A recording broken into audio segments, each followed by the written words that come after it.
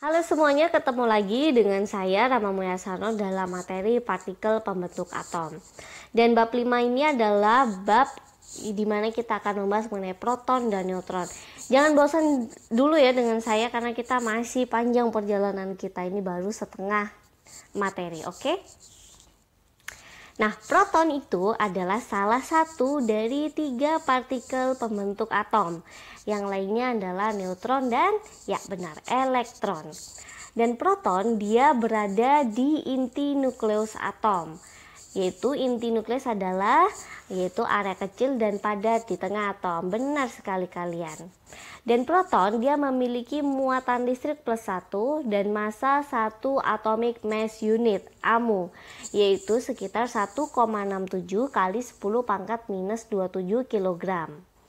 Dan bersama-sama dengan neutron, proton ini dia berkontribusi terhadap keseluruhan massa dari atom. Sekarang kita ke proton. Setuju? Setuju. Jadi, proton itu dimiliki oleh semua atom dalam unsur kecuali hidrogen.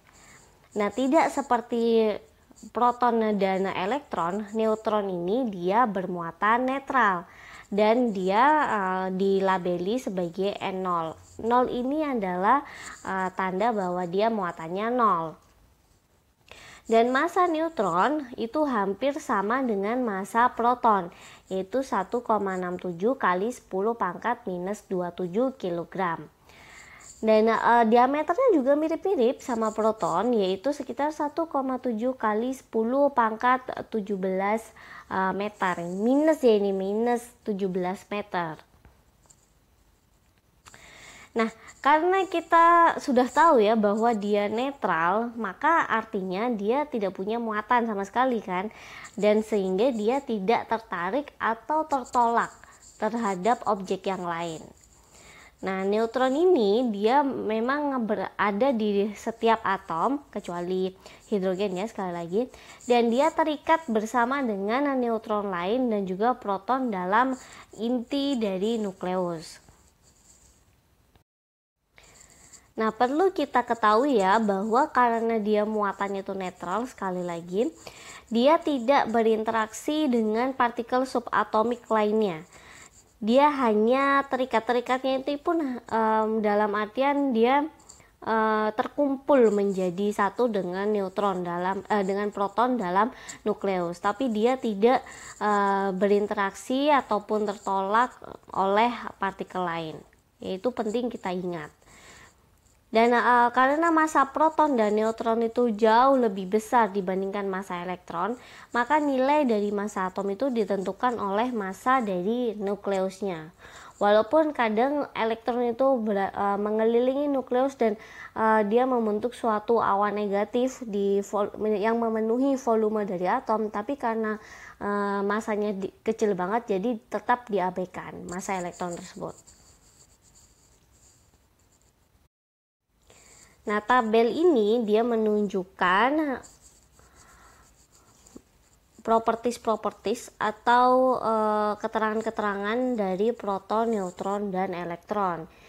Ya, kita sudah tahu dan di uh, kolom di baris kedua kita bisa melihat bahwa massa dari neutron dan juga massa dari proton itu sangat mirip sekali dan uh, sebenarnya ini kalau dia pakai gram. Kalau kita pakai uh, masanya adalah pakai atomic mass unit AMU itu bisa kita lihat bahkan mereka lebih similar lagi lebih mirip lagi masanya. Dan kita juga bisa tahu di sini bahwa elektron ini masanya jauh lebih kecil dibandingkan dengan massa neutron dan proton Nah, sekali lagi kita perlu tahu bahwa muatan dari proton dan elektron ini e, menyandarkan satu sama lain. Jadi untuk semua atom menjadi netral, kalau misalnya dia punya satu proton, maka dia harus punya satu elektron. Kalau dia punya 5 proton, maka dia harus punya 5 elektron. Kalau misalnya atom netral itu punya 10 proton, maka dia harus punya 10 elektron. Jadi intinya kayak gitu kalian pasti mengerti kan karena itu nomor proton itu di dalam identifikasi atom dia juga berfungsi sebagai um, bagaimana jumlah elektron di dalam atom tersebut. Ini untuk atom netral ya. Kalau misalnya atomnya itu bermuatan negatif atau positif, berarti kita kurangkan dari elektronnya. Nah, untuk uh, pembahasan mengenai proton dan neutron sendiri cukup sampai sini aja. Nanti di bab ke-6 kita akan membahas mengenai identifikasi atom. Nah, untuk itu langsung aja kalian klik bab 6 dan jangan pindah materi-materi dulu, tetap di materi partikel pembentuk atom ini. Dan kita selesaikan dulu satu materi yaitu nanti ada 9 bab sampai latihan soal untuk materi partikel pembentuk atom. Karena ini penting banget buat eh, kalian yang sedang mempersiapkan diri untuk SBMPTN. Oke, kalau gitu semoga sampai sini kita udah uh, detail dan udah jelas mengerti bagaimana partikel-partikel dalam atom itu uh, berkarakteristiknya dan juga uh, sifatnya oke okay? ketemu lagi di bab ke-6 yang berjudul identifikasi atom oke okay? ciao